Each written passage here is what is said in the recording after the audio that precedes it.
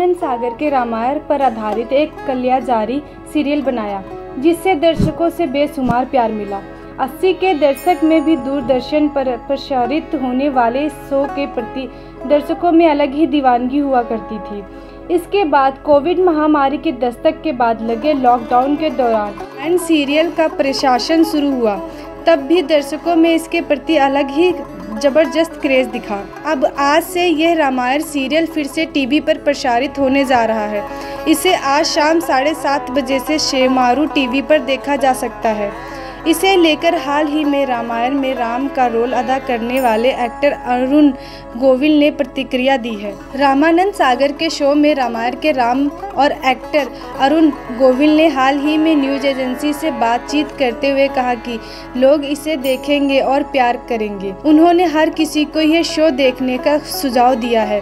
साथ ही उन्होंने रामायण को ज़िंदगी के लिए एक संस्था बताया है। एक्टर से जब पूछा गया कि रामायण आ रही है, आप लोगों से क्या कहना चाहते हैं? इस पर अरुण गोविल ने कहा कि फिर से देखेंगे लोग, फिर से प्यार करेंगे। रामायण हमारी ज़िंदगी के लिए बेहद सकारात्मक चीज़ है। मैं तो ये कहता हूँ कि जिन्हें, जिन्होंने अब तक भी नहीं देखा, वह भी देखे बहुत अच्छा होगा।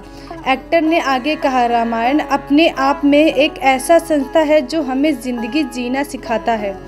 हम उसे सिर्फ़ मनोरंजन की दृष्टि से ना देखें, जो उसे कहा गया है, जो बताया गया है। अगर हम उसे अपने जीवन में उतार लेंगे तो हमारी ज़िंदगी बहुत सुख, शांति और आनंद से भरपूर होगी। बता दें कि रामायण शो मूल रूप से 25 जनवरी उन्नीस सौ सतासी से 31 जुलाई 1988 तक प्रसारित किया गया था, और इसे दर्शकों का बड़े पैमाने पर प्यार मिला था। इसमें अरुण गोविल को राम, दीपिका चिकलिया को सीता और सुनील लहरी को लक्ष्मण के रूप में दिखाया गया था। वहीं दिग्गज एक्टर दारा सिंह ने इसमें हनुमान का किरदार निभाया था और अरविंद त्रिवेदी रामन के रोल में नज़र आए थे। रामायण शो की टीवी पर वापसी की घोषणा ऐसे समय पर हुई जब सोशल मीडिया पर इसकी तुलना ओम राव की हाल ही में रिलीज़ हुई पेन इंडिया फ़िल्म आदि पुरुष से की जा रही थी। बता दें कि ओम रावत के निर्देशन में बनी फ़िल्म और प्रभास कीर्ति सेन अभिनेत्री फ़िल्म आदि पुरुष को अपने डायलॉग्स और दृश्यों के चलते खूब आलोचनाओं का सामना करना पड़ा। आनंद सागर के रामायण पर आधारित एक कल्याजारी सीरियल बनाया, जिससे दर्शकों से बेशुमार प्यार मिला। अस्सी के दशक में भी दूरदर्शन पर प्रसारित होने वाले शो के प्रति दर्शकों में अलग ही दीवानगी हुआ करती थी। इसके बाद कोविड महामारी के दस्तक के बाद लगे लॉकडाउन के दौरान एंड सीरियल का प्रशासन शुरू हुआ, तब भी दर्शकों में इसके प्रति अलग ही ज़बरदस्त क्रेज दिखा। अब आज से यह रामायण सीरियल फिर से टीवी पर प्रसारित होने जा रहा है। इसे आज शाम साढ़े सात बजे से शेमारू टीवी पर देखा जा सकता है।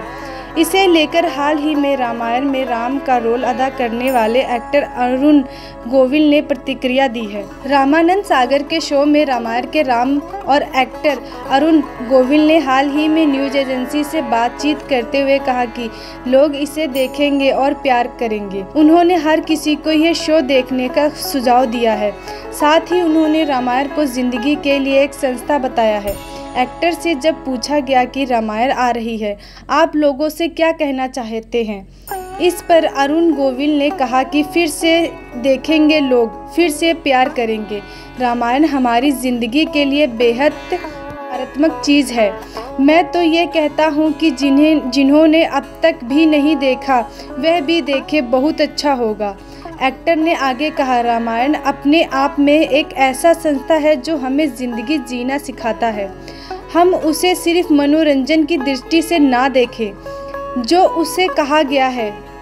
जो बताया गया है, अगर हम उसे अपने जीवन में उतार लेंगे तो हमारी ज़िंदगी बहुत सुख, शांति और आनंद से भरपूर होगी। बता दें कि रामायण शो मूल रूप से 25 जनवरी उन्नीस सौ सतासी से 31 जुलाई 1988 तक प्रसारित किया गया था और इसे दर्शकों का बड़े पैमाने पर प्यार मिला था।